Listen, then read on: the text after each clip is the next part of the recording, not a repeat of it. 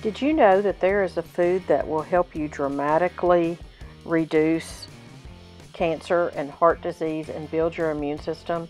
Let's talk for just a second about the red bell pepper before I show you a fast and easy way to chop it. Botanically, the red bell pepper is a fruit, but nutritionally, it's a vegetable. It has over eight times the amount of vitamin A than a green bell pepper. It has more than two times the daily recommended allowance for of vitamin C and three fourths of your daily vitamin A that you need.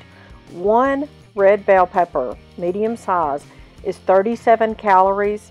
It can be used in omelets and casseroles and soups, stews, curries, um, hash, quiches, the list goes on and on. You can have it in salads. You can eat it raw or cooked or steamed or roasted.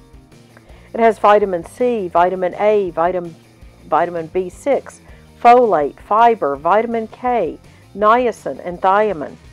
It will help you lose weight. It will improve your eyesight. And it is a vital part of your diet to build a healthy immune system.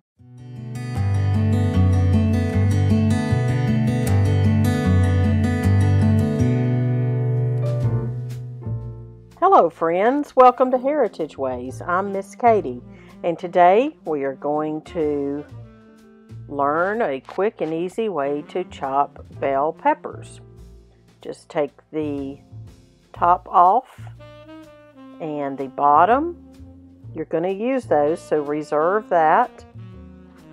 Then you make a slit in your pepper, as you see me doing here kind of lay it down and, and get the um, insides out. Yeah, just kind of cut those veins out and, and take the insides out. You can save the seeds if you're interested in doing that or put it in the compost. Now, you just take the pieces that you have, put them on top of one another, and slice matchsticks or some might call this julienne.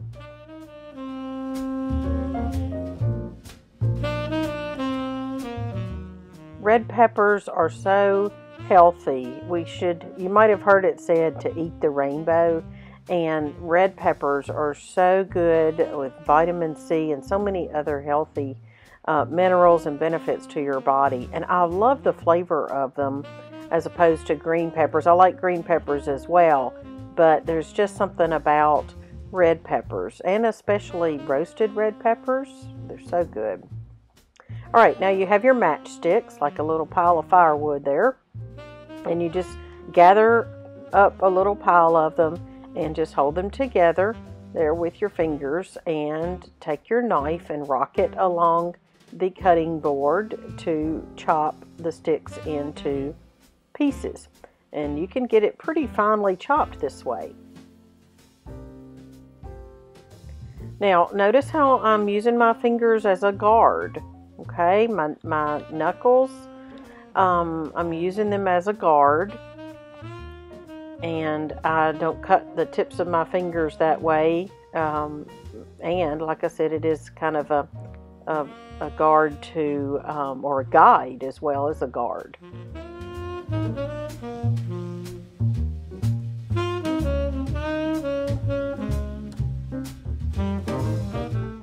And those pieces, you see how I'm just, they can be evenly chopped up.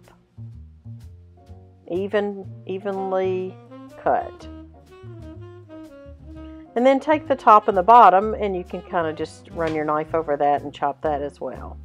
Rocking the knife along the cutting board is the secret.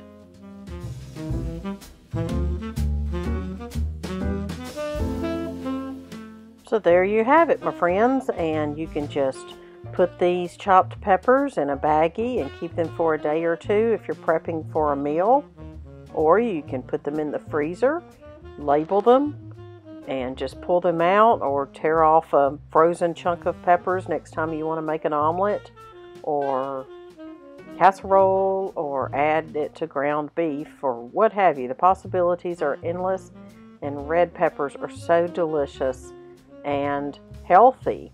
Do you like red peppers? Let me know down below in the comments if you like red peppers. Some folks prefer yellow peppers or green. there you go. Make sure you hit the subscribe button and come back tomorrow and we're going to learn another kitchen tip. Thanks for joining us, y'all, and we'll see you next time.